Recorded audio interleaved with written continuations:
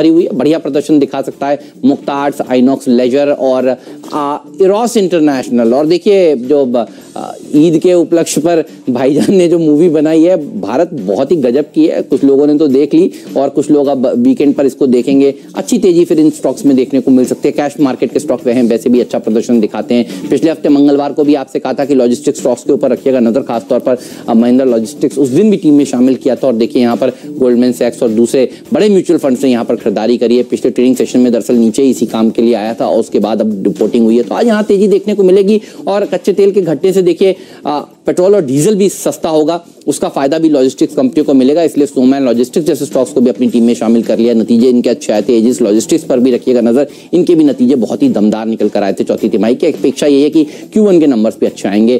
H services ये है आज का मेरा फ्रेड शेयर दमदार प्रदर्शन दिखा सकता है।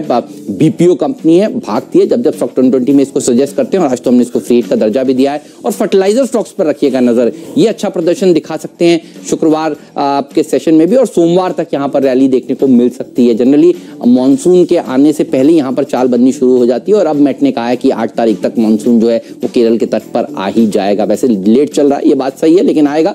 इसीलिए फैक्ट आरसीएफ मद्रास फर्टिलाइज़र जैसे स्टॉक्स अच्छा प्रदर्शन दिखा सकते हैं आज के सत्र में।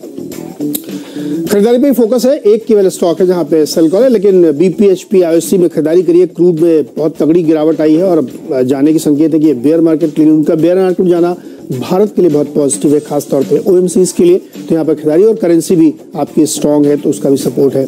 साथ ही ब्रिगेड इंटरप्राइजेस अजमेरा रियल्टी और पटेल इंजीनियरिंग में नज़र रखिए, क्योंकि आज रेट सेंसिटिव में अच्छी रैली देखने को मिलेगी तो इसीलिए रियल एस्टेट इंफ्रास्ट्रक्चर शेयर्स में खरीदारी हो सकती है।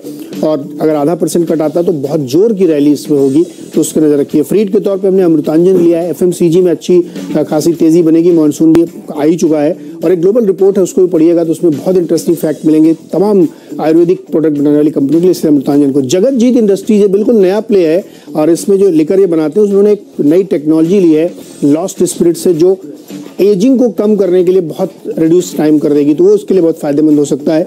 और पावर प्लेस पे भारत फोर्ज एक शॉर्ट है, क्योंकि इनका जो क्लास एट ट्रक्स की बिक्री है यूएस में बहुत तगड़े से गिरी है, जिसका प्रभाव इनके ऊपर ज़रूर पड़ेगा। और टीवीएस इलेक्ट्रॉनिक्स में नज़र रखिए, क्योंकि आरबीआई का मानना है कि अब डिजिटाइजेशन को और ज़ोर से पुश करने का समय आ गया है तो इसलिए यहाँ पे खरीदारी की जा सकती है।